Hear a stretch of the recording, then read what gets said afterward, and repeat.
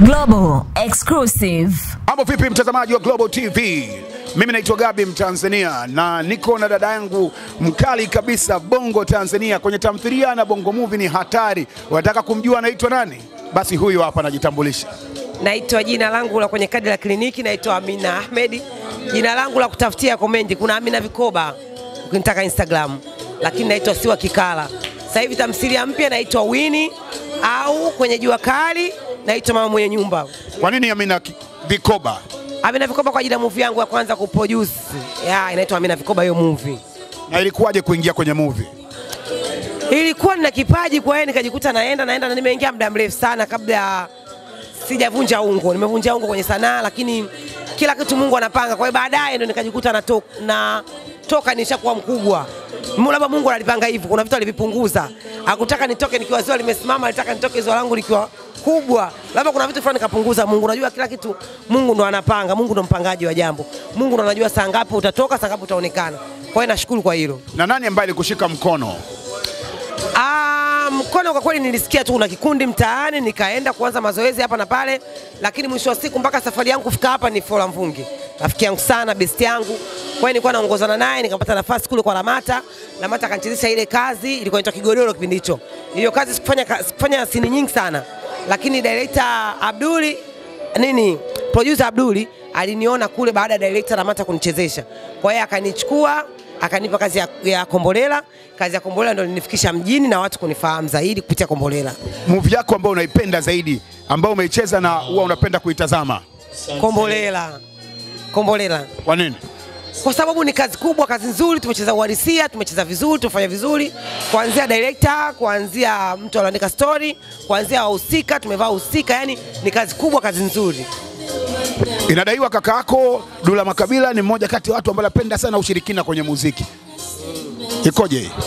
Hiyo sijajua, kila mtu ana imani yake. Labda imani yake kwenye ushirikina, mimi imani yangu kwenye dua zaidi. Kwa hiyo kila mtu nayemuona hapa anajua utajiri wake alivyoupata, anajua mwingine anajua usta wake na ana siri yake. Kwa hiyo siri yake yeye labda ana imani hiyo, kwa hiyo siwezi kumkataza kuwa na imani hiyo kwa kweli. Katika maex ambao alikuwa nao Dula Makabila, wifi yako gani ambao ulikuwa unamkubali sana na ni kwa nini? Zailisa ana adabu, ana adabu, ana upendo, ni mwanamke mzuri, siwezi kukataa hilo, lakini ikitokea kusimama mimi nitasimama na kakaangu kwa sababu damu nzito kuliko maji, lakini ni mtu ambaye namkubali, ana baya na mimi. Zailisa, mkikutana huwa mnaongea nini kipindi hiki ambacho achaachana na kaka yako na yupo kwenye mahusiano yake mengine? Sijakutana naye kwa sababu tunacheza wote jua kali, lakini mimi nacheza uswahilini, yeye yuko kule kwenye sehemu zingine, lakini sijawahi kukutana naye toka ilipotokea hizi issue, tujaonana, ila sina ugomvi naye, sina ubaya naye, ni mtu mzuri. Vitu gani ambavyo unavimisi kutoka kwa Zailisa? Adabu yake, heshima yake, yani ninachoomba zaidi kakaangu apate mke mwingine ambaye atakuwa na adabu, atakuwa na heshima, atakuwa mke mzuri zaidi ya Zai. Nakwambia Dula ana ujanja kabisa kwa dada yake bwana Vikoba, kwa maana lazima akupe introduction ya mwanamke ambaye uko naye. Sasa hizi uko na nani? Sasa hivi bado hajaweka public mahusiano yake, kwa sababu Dula mimi ni mtu wa mwisho sana kuniletea mwanamke, sababu ananijua ni mtu ambaye naweza nikaharibu. Kwa hiyo uwaga mtu wa mwisho kabisa, mpaka akifikia stage kwamba huyu anataka kuoa, ndio uwaga labda ataniletea nimuone na tayari kwa kumuoa. Hata Zai yakukaa sana alinionyeshea wani wiki, baadaye akaja akamuoa. Kwa hiyo kwa sababu mimi ananiona kama mtu ambaye sipendi awe na mahusiano mengi mengi, kwa hiyo akiniletea mwanamke ujue uko serious naye. Kwa hiyo baada ya kwenye kuchagua, unajua kwenye kuchagua huwezi kuchagua kitu kimoja. Kwa hiyo bado anaendelea kuchagua, atakuwa nao wengi sana chagua Mtaa wa Kazamoyo, Eh, mtaa I say kiboko. una miss nini kwenye hiyo tamthilia? Na miss mme wetu, mke mwenzangu zetu tulikuwa tunagombana. Ah, kazi nzuri. Yaani miongoni mwa kazi nzuri naye pia kaza moyo ipo sana kichwani mwangu. Unamzungumziaje Dr. Cheni? Dr. Cheni ni bosi wangu. Alini, alinipa kazi na ikimpendeza labda kwenye stori zake zingine akiendelea kuproduce ataniita kunipa kazi zingine. Kwa hiyo ni bosi wangu, ninampenda kwa sababu tumeishi vizuri kwenye kupeana kazi, hajawahi kufanya vibaya. kuna utata sana kwenye Kazamoyo eh? Ndani yake kuna mtu anaitwa Nagwa, Mm. Eh, nampata. Hey. unamzungumziaje? Ah, bwana hilo jitu, sio mtu jitu. Hilo jini hatari, hatari. Nagwa ni msanii mkubwa, msanii mzuri, anafanya vizuri, anavaa husika hivyo yani. Ni tukio gani baya ulicha kumpiga mume wako? Mume wangu mimi.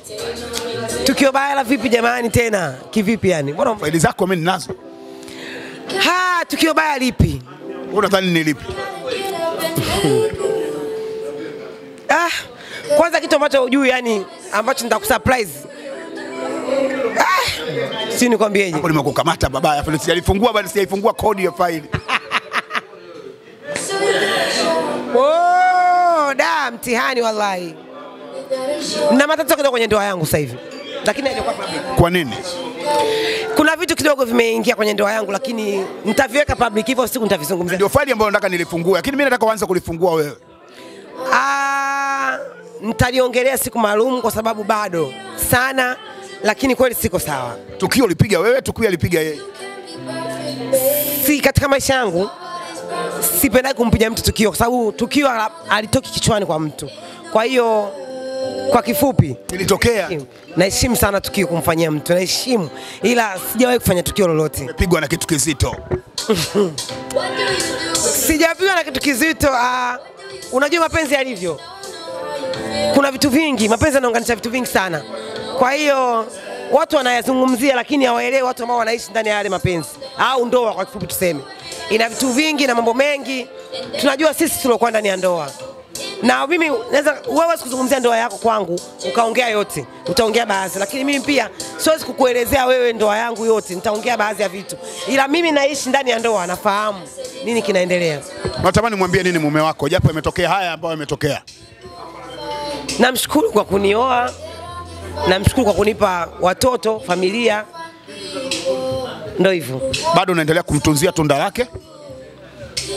Tunda ipi na wewe? Yaani hiyo tunda kama vile ume, kama umeokota tunda limedondoka kwenye mti tunda hili hili la damu Leo ndo nimegundua kwamba Amina Kikoba ukimkamata sehemu zake, huyu hapa mdogo kama pilitoni. Amna, mimi siwezi kuwa mdogo kama Pilitoni. Haya ni mambo ya kawaida, kila mtu anajua. Umepigwa na kitu kizito. Yaani nikwambie kitu kaka, unajua ndoa ni riziki, na ikienda riziki kiisha, basi huwezi kuforce Kwani mke- Kwani mke mwenzio umemjua? mke mwenza. Mimi sina mke mwenza, sijai kuwa na mke mwenza, hajai kunionyesha hilo mume wangu. Miaka yote ambayo tumeishi, sijai kumwona mwanamke mwingine zaidi yangu. Neno moja kwa mumeo. Ah, na siku njema Hilo si mnakutana nyumbani. Eh.